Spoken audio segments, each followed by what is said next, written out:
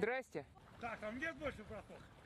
Нет, все. Слава Богу. Уже там их много.